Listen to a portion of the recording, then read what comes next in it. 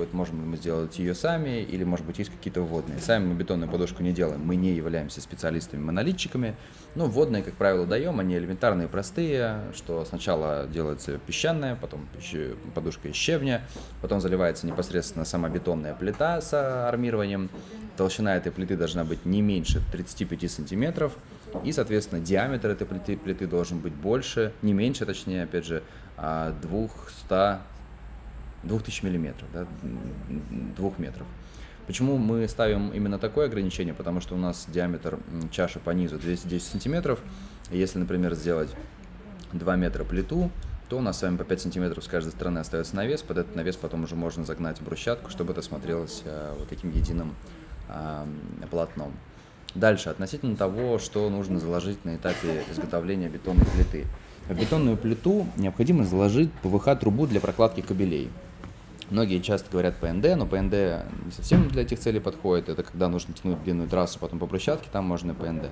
Здесь же лучше закладывать ПВХ-трубу, она, ну, это просто технологически правильно. А, труба выводится не в центр, вот видите, вот здесь э, центр нашей бетонной плиты, а выводится с небольшим смещением на 15 сантиметров в бок. Для чего это делать? Для того, чтобы потом, когда мы насос ставили, у нас э, провода, вот эти вот, которые будут из насоса выходить в эту трубу ПВХ, они были несколько смещены к выходу а не в центре, чтобы там эти насосы не обслуживать, не установить нельзя было. Соответственно, вот здесь я указал чуть прям, ну, более так подробно разрисовал, в какую сторону нужно смещать э, эту трубу. Смещается она в сторону лючка, вот этого вот, да, нашего замечательного, через который потом происходит обслуживание всего оборудования. А лючок, соответственно, сразу направляется в сторону щитка. Вот видите, вот этот вот лючок, вот я сейчас увеличу. Вот он у нас, этот лючок а, соответственно, щиток здесь. То есть вот таким образом идет наша трасса. Дальше. Плита, разумеется, должна быть ровной по уровню, без перепадов, без кочек, без заливов, подливов и так далее. Абсолютно ровная, гладкая плита, чтобы при установке на нее не было уже никаких перепадов, она не прыгала там, и дальнейшие элементы фонтана можно было собирать спокойно, не отвлекаясь на эти моменты. Соответственно, а сердечник у нас термодифицированный, поэтому здесь э, все соосно, расстояние больше, соответственно, здесь можно уже не резиновый шланг, а металлопластик ставить и здесь через резинку соединяться. Вот в данном случае с таким кольцом набор оборудования выглядит следующим образом, что есть насос, который питает сердечник, и есть второй насос, который питает кольцо. Вот у нас кольцо в разрезе. Соответственно, в ножке у нас есть такие специальные технические отверстия, через которые это, э, вот эти вот клюшки подходят к кольцу и через американку там соединяются. А, относительно ящика. Ящик ставится а, на заранее подготовленном месте. Он включает в себя набор элементов для обеспечения безопасной деятельности фонтана, работоспособности оборудования. И, как правило, чаще всего спрашивают, какие провода закладывают вот в эту ПВХ-трубу, какой толщины, сколько штук и так далее. Здесь важно понимать, что есть такое понятие, как э, группа, рабочая группа. Что это значит? Например, у нас есть с вами насос, есть подсветка на кольце, есть подсветка на сердечнике. Вот если мы хотим, чтобы это у нас все включалось, выключалось отдельно, с разных пультов управлялось, то у нас с вами три группы. На каждую группу, соответственно, кидаем свой кабель. Какие кабеля бросать? Здесь я сделал вам такую вот табличку. Если мы говорим про а, силовые потребители, насосы и так далее, которые 220 и прочее, на них, если у нас трасса длиной меньше 30 метров, расстояние до, до щитка, то, соответственно, мы закладываем кабель 3 на 1,5. Если больше 30 метров, то 3 на 2,5.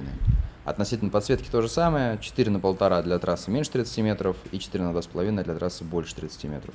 Если насосик у нас идет с понижайкой, э, ну, низковольтный, тогда, соответственно, можно закладывать тоже э, вот эти вот кабеля.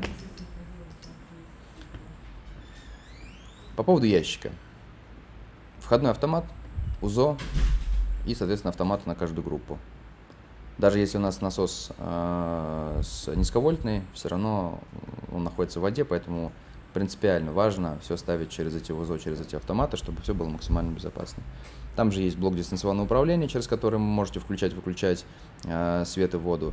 И, соответственно, если вы используете RGB-подсветку, которая, ну, заказываете, точнее, в наборе, то с ней еще идет пульт управления этой самой подсветкой, регулировка цвета и все остальное. Вот здесь у меня есть такое видео, в принципе, на этом видео максимально э, показано, как работает фонтан. Да, вот видите, Здесь даже в середине видео есть э, возможность, невозможность демонстрация того, как меняется эта самая подсветка с э, пульта. Относительно этого ящика э, счета, да, здесь тоже у нас сразу к нему прилагается видеоинструкция, как собрать. Если мы куда-то отправляем, например, по России, по этой видеоинструкции можно элементарно его собрать, все подключить и все сделать правильно, как положено. Что еще, какие важные моменты есть?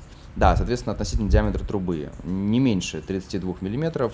Если у нас больше 4 кабелей, то не меньше 40 Кабеля протягиваются целиком, все соединения на подводный муфт. То есть зачастую его здесь начинают что-то резать, протягивать. Нет, они целиком э, протянулись. Здесь э, через подводные муфты соединение произошло, потом уже э, компаундом залили, загерметизировали, чтобы не было никаких там течей и всего остального. Вот это такие принципиально важные моменты относительно именно подготовки труб, проводов э, и подготовки к обеспечению оборудования.